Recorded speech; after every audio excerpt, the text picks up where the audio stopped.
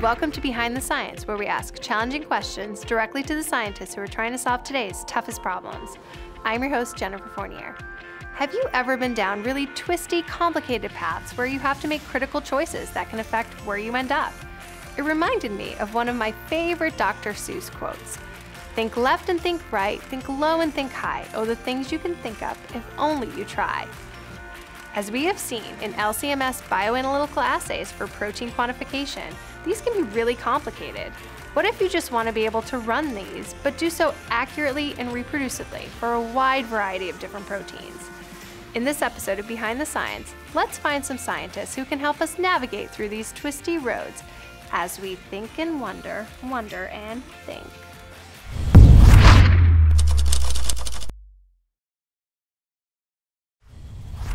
Hi, Paula. Hi, Mary. So glad I found you guys. So I heard that you've been doing some cool work on protein quantification, and I recently learned about this surrogate peptide or bottom-up approach. So I was recommended to come and talk to you guys. And really what I'd like to do is take all of your knowledge and take some notes if that's okay. Okay, I'm ready. Is she serious? Great timing, Jen. Actually, put your pencil down. We've developed a kit-based approach which greatly simplifies and standardizes the protein quantification workflow. Great. Is this a method? Yes. Wow, can you take me through it? Absolutely, let's go. There are so many variables to consider when developing a method like this. Protein denaturation, optimization of digestion time, choosing the enzyme and vendor, optimization of concentration, time, temperature, reagent, or omit. And finally, testing reproducibility. As you have previously seen, the surrogate peptide or bottom-up approach is the most widely used LCMS technique for protein quantification.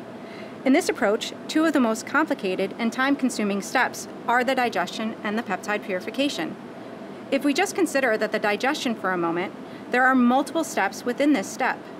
We need to first denature the protein, reduce and alkylate it depending upon the nature of the protein.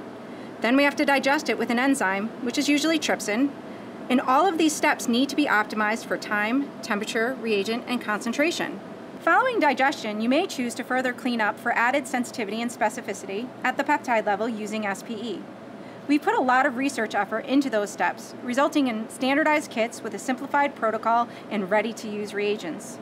This takes the guesswork out of complicated workflow. This is great and exactly what I needed. Basically, all of the knowledge is written down here within this protocol. But there still seems like there's a lot of steps. How do I know that from lab to lab or analyst to analyst, this is reproducible? Why don't I take you through some of the optimization data that we have that led us to this final kit to show you how reproducible the kit really is. That sounds great. The first thing that we did was look at the variability that the kit provides. We ran five production lots with five different lots of trypsin on two different days with two different analysts, and we still have great statistical performance for the monoclonal antibody bevacizumab. The intra-kit, or within each kit, percent CVs across all of the peptides were less than 2%, while the inter-kit, between kits, performance was less than only 8%.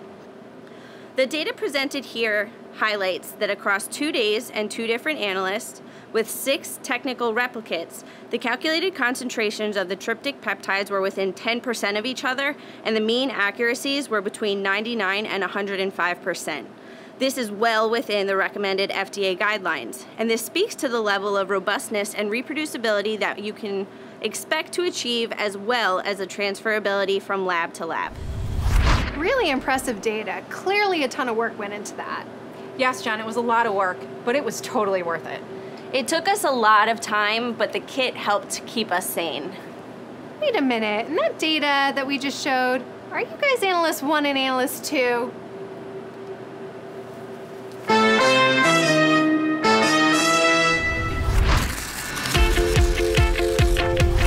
Analyzing large molecules is proving to be a big challenge. Protein quantification workflows are traditionally time-consuming and complex.